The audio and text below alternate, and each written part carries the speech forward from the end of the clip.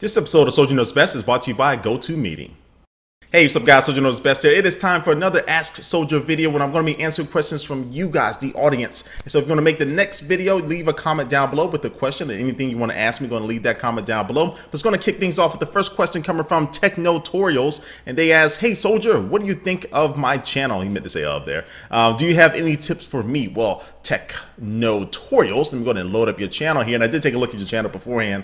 And I do say, I do like your overall theme of it. At least you do have a background for it. So you did take some time to, to kind of customize it there a little bit. Um, but the one things I did notice here as, as I'm going to go to one of your videos here is that um, you may need to get a definitely a, a, better camera because your angle here, as I show you, you can see this, this iPhone 4S, you're doing the iPhone 4S unboxing here. The box just looks really fat. Um, so you do need to upgrade your camera the, the best you can. Uh, now you can probably even still use the iPhone 4S camera if you wanted to. That'll probably be better than the camera that you're using right now. And the next question comes from Legends Never Die, and they ask me, "Hey SKB, what do you think the next iMac will be released, and what will be the new features?" Well, I think we'll see the new iMacs plus a whole bunch of other new Macs as well at WWDC this year. I did a video not too long ago. I'll put it on the side of me here. You can click that, and it'll take you to that video. But anyway, I think we'll see the new iMacs at WWDC, which goes down in early June. And some of the features it could have definitely will probably have the new Intel Ivy Bridge processor chipsets there. Um, then also too, it could possibly have a Retina display. Yes, a Retina display in an iMac has been rumored. We're not too sure about that though. Um, but also, too, again, I just think mostly the internals will be updated. I don't think we'll see a new design, but that is possible. But again, most of the insides will be updated for this next iMac refresh.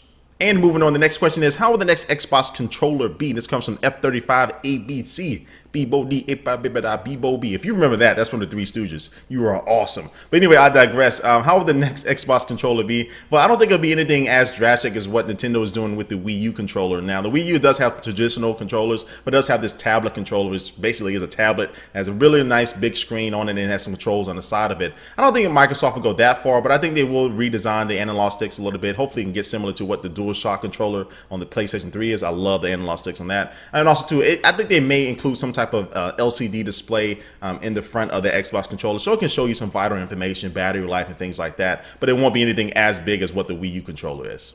And the next question comes from Devinger95. They asked me, why are these videos not in my sub box? This is an excellent question because a lot of people have had issues with YouTube where they're either being unsubscribed from people's uh, YouTube channels without even knowing, and also too, they're just not getting all the, the videos that people are uploading that they are subscribed to. Now, one of the main culprits of this is a failure on YouTube's part to notify us. But if you go to your main YouTube homepage, and you probably notice this little checkbox that says show uploads only. Now, if you uncheck that, or if that is unchecked, you'll see all the different things from the people that you're following. So I just seen commented on a video that'll show up in my little feed right here instead of just a video that she's uploaded. Now that's one thing that I think most people know about, but the other thing that a lot of people don't know about is a little drop down box right here. By default, it's selected to highlights. It's something they added a few weeks ago. And now you need to select that on everything to be able to see all the videos that your, your uh, the people that you subscribe to have uploaded. If you're only on highlights, it's only going to show a few of those. So that's something that I don't understand why they did that. At least let us know and notify the people of it. But hopefully this will help fix people's issues that are not getting videos from people that they're subscribed to.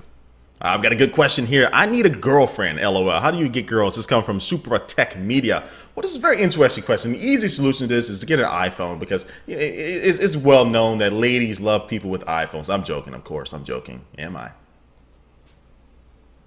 but anyway, um, I, I, honestly would say the best way to get a girl just to be yourself. Don't try to pretend to be anything. Everybody goes through that phase, especially all the men go through that phase. I did it when I was younger, trying to impress girls by you know maybe by acting like you, are something when you're really not. Uh, just be yourself. I think girls will be uh, definitely attracted to that, and also to just be honest. Tell the girls exactly what you want. If you're looking for a relationship, tell them that. If you're looking just for a one night thing, this is of course this is for my my older viewers here. Uh, tell them that you'll be you'll be surprised how many women just want the truth. Some people are just looking for something really quick.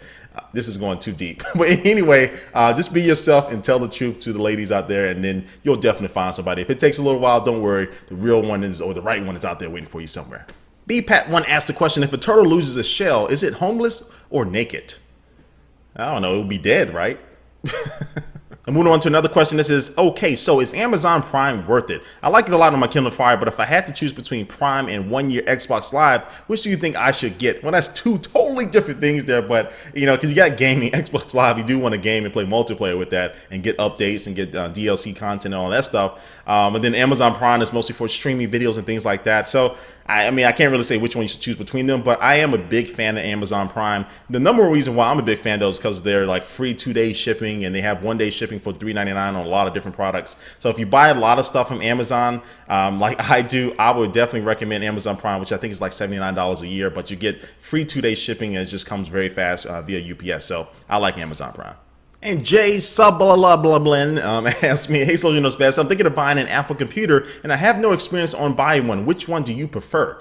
Um, well, if you're just getting getting into the Apple ecosystem, if you're looking to save, you know, save the most money as possible, you really just want to test it out. The Mac Mini would be the best one because that's the cheapest Mac that you can get. But I honestly would recommend, because um, once you go Mac, you don't go back. Of course, once you go black. Anyway, um, I would I would kind of recommend um, the MacBook Air for a laptop or, or the iMac if you're looking for the desktop. All right, guys. Well, that's all the questions I'm going to take for this particular Ask Soldier video. But before we head out, here's going to take one last look at our sponsor for this video.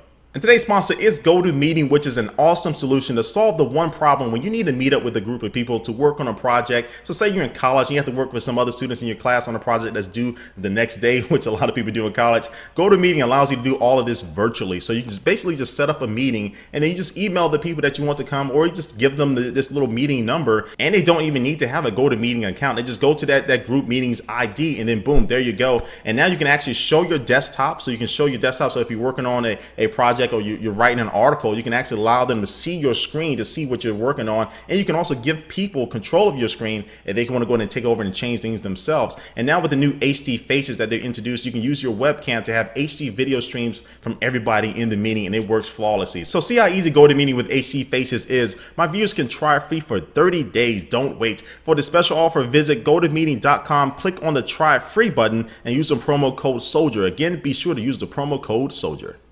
All right, again, guys, thanks for watching this video. Please leave your comment down below with your questions so hopefully you can make the next video. And thanks for watching, guys, and I will catch you later. Peace.